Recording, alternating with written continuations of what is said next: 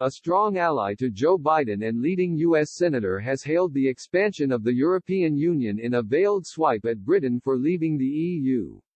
Senator Dick Durbin has praised the new Europe, hailing Brussels for its expansion of the European Union.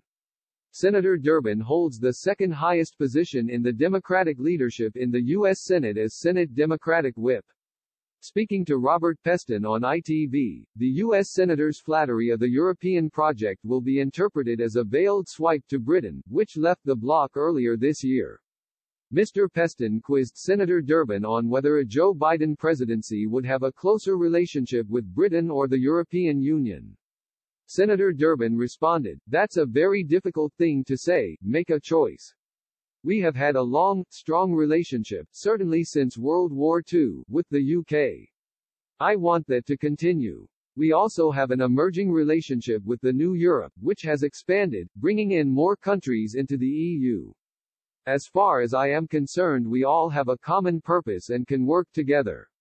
He went on to say that Joe Biden's first phone call as U.S. president should be to America's European allies, after claiming Donald Trump had abandoned them.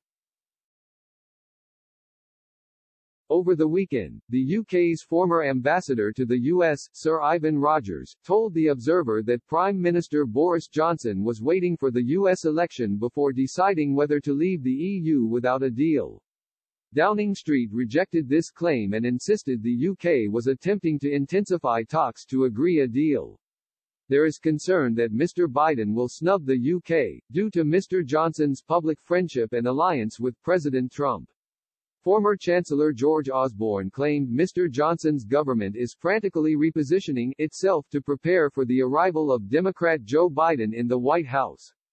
Mr. Osborne told CNN that Downing Street would have to work hard to overcome the lack of warmth from Mr. Biden towards the Johnson administration after Brexiteers tied themselves to his rival Donald Trump. He suggested that the UK's goal of getting a trade deal with the US could be difficult under a Biden presidency. Mr. Osborne said, I don't think Joe Biden will feel particularly warm towards this British government and they're going to have to work very hard to change that. Former diplomat and crossbench peer, Peter Ricketts claimed this week that Germany and France will become the center of gravity for the U.S. if Joe Biden wins next month's election.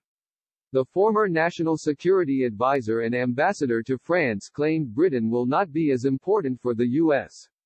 Brexit Party founder Nigel Farage stumped for Donald Trump yesterday, praising the U.S. president as the bravest person I have ever met.